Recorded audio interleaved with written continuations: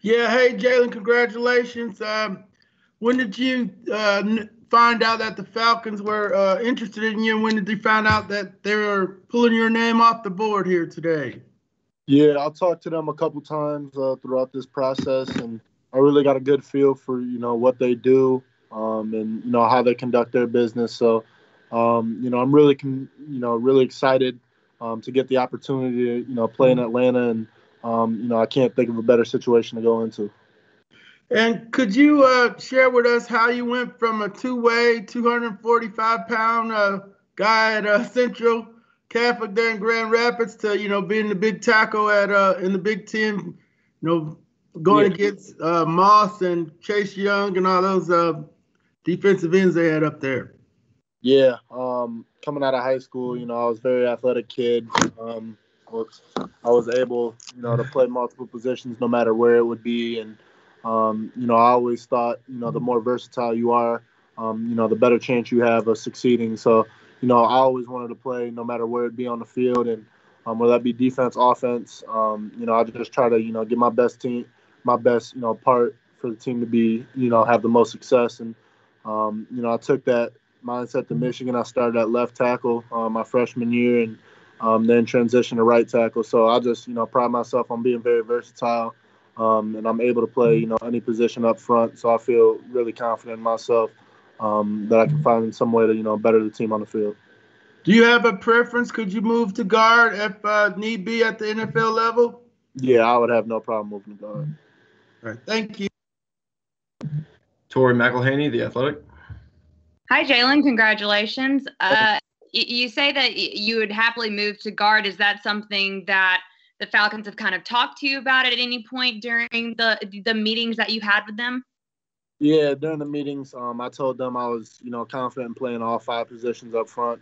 Um, I'm somebody, you know, who's a very smart kid. I can adapt to anything that's thrown at me, and um, I feel like, you know, the more versatile I am, you know, the better chance I have to get on the field right away. So, um, you know, I'm really coming in with an open mindset. I don't know where I'll play, whether that be tackle, guard, or center, um, but I'm ready to go at any spot you know the the one spot on this offensive line that's that's pretty open is at left guard. I mean, you would have a chance to compete for for that spot. What does that mean to you? How excited are you for that? I'm ready to go. I, you know, I'm willing to do whatever it takes, you know, to fulfill my dream of playing in the NFL. And, um, you know, if it is at left guard or whether it be any other position, I'm ready to go there. So, um, just looking for an opportunity uh, to show what I have um, and show what I can bring to the team. Well, thanks. Michael Rothstein, ESPN. Hey, Jalen, congratulations. Uh, first, I know it was a high ankle sprain, but how is the ankle? Are you good to go there? Yeah, I've been 100% for a while now. Okay. Walk me through a little bit your opt out, opt in injury, like what that, what this whole, like that whole eight months was really like for you. Do you, do you regret doing some of that? Do you wish anything had gone differently? Like, walk me through all that. Uh, well, first of all, wish COVID didn't hit us. Uh, that really threw a wrench in everything. But um, initially, with the opt out, you know, our season was canceled, and um, there was talks, you know, with our commissioner in the Big Ten that you know the season wouldn't be uh, reinstated unless it was in the spring.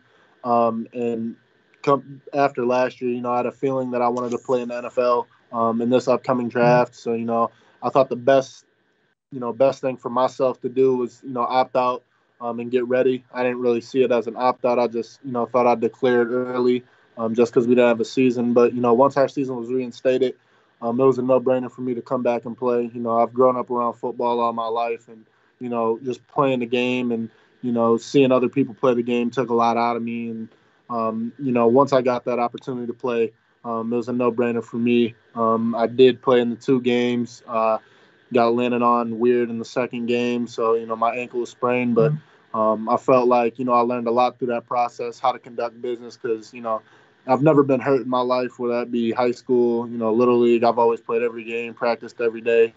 Um, so you know it was definitely something different for me. Um, but I'm, you know, I learned a lot during that process, and I'm really excited. And just one last thing: Have you ever taken a snap on the interior of the offensive line before, or if that happens at some point, will that be like completely new to you?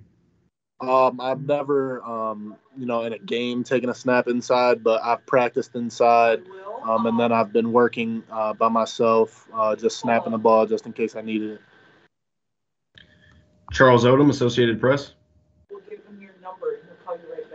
That uh, that blends right into what I wanted to ask. Uh, uh, if you'd had any practice time at center, because there could be um, an opportunity there as well. Um, did the Falcons talk to you about that about that possibility?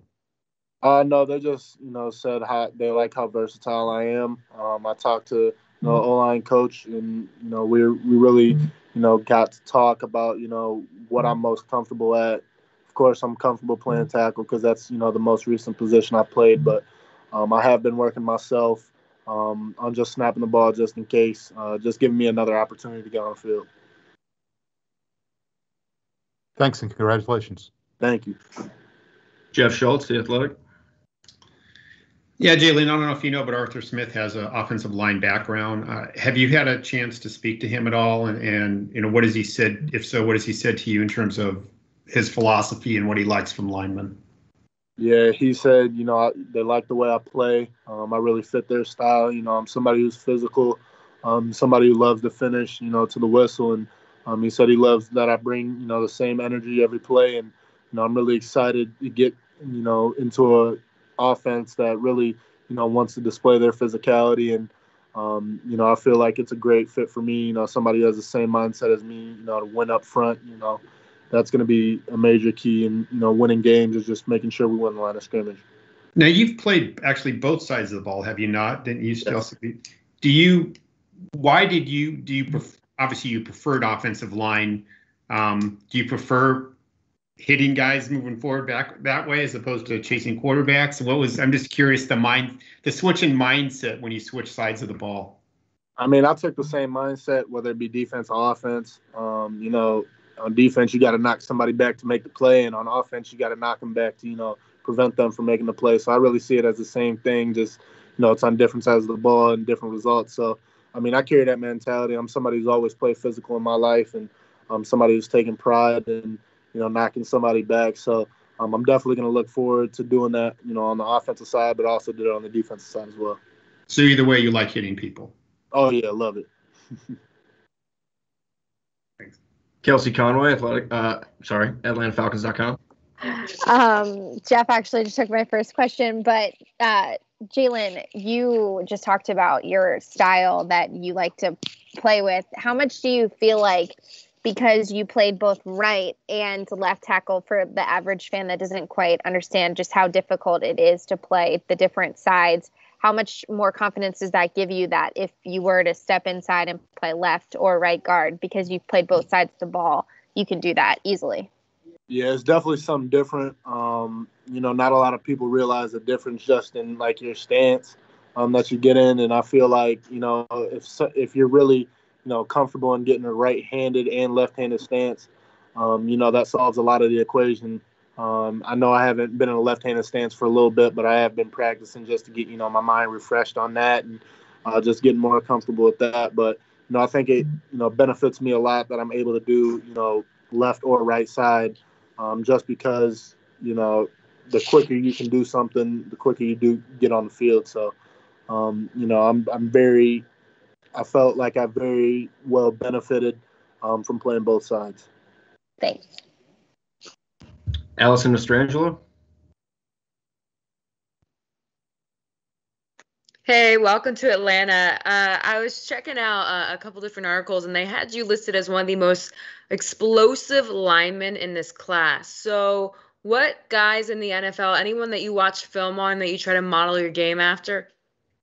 Uh, I don't necessarily model my game after anybody, um, but I do watch film on a couple of guys. Uh, you know, one big guy I seen that I've taken a lot from the run game is Taylor Lewan. Um, I feel like you know he's definitely somebody who plays with an edge to him. Um, somebody who really, you know, has a confidence and certain swagger about him that you know I try to replicate in my game. So um, I'm somebody who's definitely you know takes pride in you know knocking somebody back and you know letting somebody know about it. I'm not afraid to speak up at any time. So I'm definitely somebody who you know loves the way he plays with his confidence and try to put it in my game.